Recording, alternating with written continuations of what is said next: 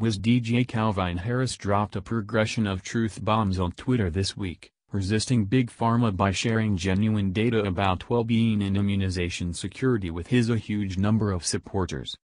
Calvin Harris took to Twitter to scrutinize British Prime Minister Theresa May for exiting to his tune This Is What You Came For at the Conservative Party conference in Manchester, England. Be that as it may, at last, he just wound up getting consideration for quarreling with two or three specialists after he tweeted then erased some well-being guidance for dark confronted Theresa May. Obviously, Calvin Harris was immediately assaulted by trolls resolved to shoot down his well-being council. Apportioning all-encompassing well-being counsel via web-based networking media is a minefield, the same number of well-meaning individuals can bear witness to. Be that as it may, the experience did not prevent Calvin Harris, who has more than 12 million Twitter supporters, from proceeding with his campaign to teach the majority.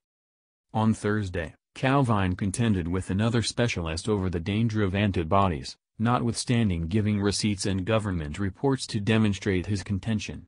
See the whole trade, underneath. Obviously, seeing a DJ giving out good judgment well-being counsel to a great many devotees was sufficient to send the GP into a free-for-all, and she released a progression of individual, belittling put-down toward him. How could he propose to his a large number of devotees that they should inquire about the fixings and antibodies themselves, instead of depend on the legislature to disclose to them what is beneficial for them? What's more, how could he recommend the body ought to be purified with sound sustenance? These fear-inspired notions are the kind of risky imagining that could decrease Big Pharma's benefits. For this situation, I'll take the DJ's assertion over the GP's one-sided proclamations. Why? Since I had individual perceptions and experience beginning 40 years prior, and after that began exploring 35 years back. Furthermore, learned to expect the unexpected.